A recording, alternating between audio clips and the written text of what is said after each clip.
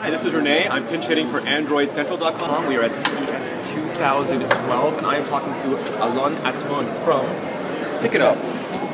How are you, Alon? Great. Now, you are doing this. Um, this is like a, heads-up display for a car, right? You're bringing uh, enhanced reality to an automotive experience. Yeah, we are harnessing the power of augmented reality to improve your driving skills and actually save your life when you're distracted. So, what, what are the what are the distractions that you see people facing the most in driving these days? Oh, there's three major ones. The first is tailgating, which means that you are not keeping enough distance from the car. in Yes.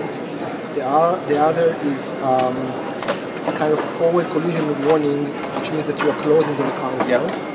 And the third is if you're like dozing off and you're departing from your lane, Yeah, you're sort of swaying. lane departure, Yeah. lane departure warning that you're giving. All right. So, and how does you, how does your app deal with those?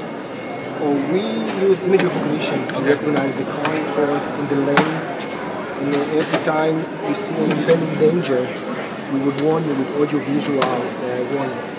So right now you have it running on Android, but it's going to be coming for iOS as well soon. Yes, soon enough. And this is the demo. The iPad here is showing what the road would look like, and the Android phone is actually doing all the recognition. Yeah. All right. So I mean, it, it's it's real time. It's a live view.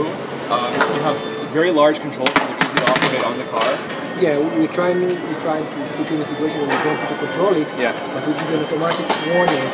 And we try to everything that you want to do with your phone, we try to avoid. So let's say that you want to read your latest uh, SMS or emails, we will read them for you Okay. to avoid you touching the phone and getting distracted.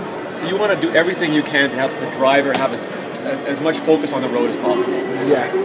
And, you know, there was this uh, NTSB recommendations to ban all Yes. uh, cell phone usage, which is uh, very hard for people to keep. I saw the top so people don't like it that much. And we think that we took the, the problem, the number one problem, which is distracted driving, the number one cause of the problem, the cell phone, we turned it into the number one solution.